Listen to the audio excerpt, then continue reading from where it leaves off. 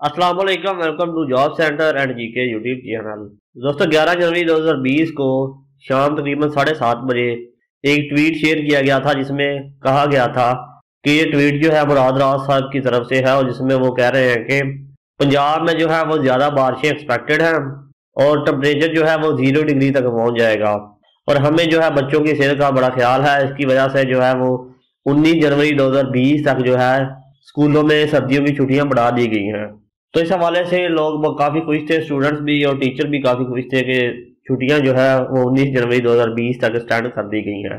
لیکن آج بارہ جنوری دو ہزار بیس کو تقریباً صبح دس بجے مراد راز صاحب نے ایک ٹویٹ کیا ہے جس میں انہوں نے بتایا ہے کہ جو کل رات کو ٹویٹ کیا گیا تھا کہ انیس جنوری دو ہزار بیس تک چھٹیاں اسٹینڈ کر دی گئی ہیں، وہ بالکل فیک ہے۔ اور کل سے جو ہے انشاءاللہ سکول اوپن ہو جائیں گے۔ اور انہوں نے اسٹوڈنٹ اور ٹیچر کے لیے جو ہے بیسٹ کے لیے جو ہے بیسٹ وشیز کا اظہار بھی کیا ہے۔ تو جو جو نیوز تھی کہ انیس جنوری دو ہزار بیس تک چھٹیاں ایکسٹینڈ کر دی گئی ہیں، وہ بالکل فیک ہے۔